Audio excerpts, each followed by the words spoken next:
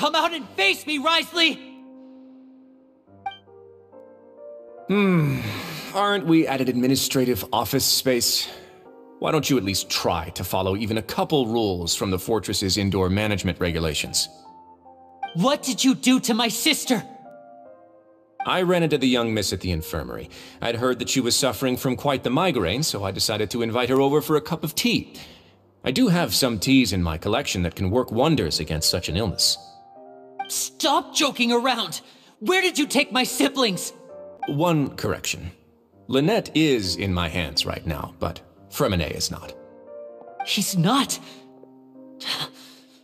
What do you really want? Lyney!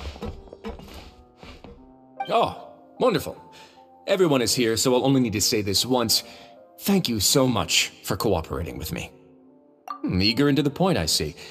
Alas, only Miss Lynette is currently having a cup of the fortress's finest tea. But why would I do this, you may be asking? To have an audience with you, of course. My intel tells me that Mr. Lyney is a great magician, so it's only natural for me to want to have some cards of my own when it comes to negotiating. You need do but one thing to guarantee their safety. I would like you to contact your superior, and ideally invite her over for a cup of tea with me. You want to see father? but why should she bother giving you an audience? Well, if she cares for the well being of her dearest children, she should have plenty of motivation to join me for a parents' evening. Mr. Lyney, you have one last chance to invite your father here. If you refuse. Stop your cruel and pointless games, Wriothesley! You know that we haven't finished our investigation, so there's no way we can answer the last question. The thought of sparing Lynette and Freminet never even crossed your mind! You'll pay for this! Ah! Lyney! Are you alright? Oh, close one. I owe you, Sigewinne. That was a fantastic shot. It was nothing, Your Grace. Sigewinne? Though this gun may look like a toy, it's actually fully functional, as I just demonstrated.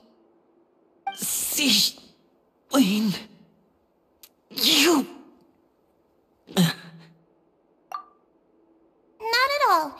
I am merely a resident of the fortress, and thus protecting it is my duty. Take me if you want. But let them go.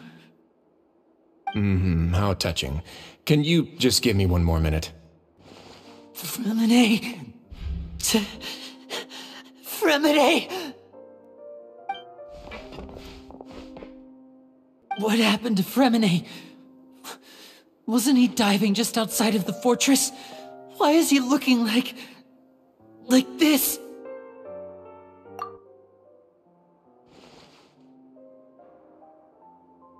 A flushed face, an accelerated pulse. He must have consumed primordial What did you say? Please, make some space. I'll need to give Mr. Freminet a more thorough checkup. Your Grace, I'll leave the rest to you.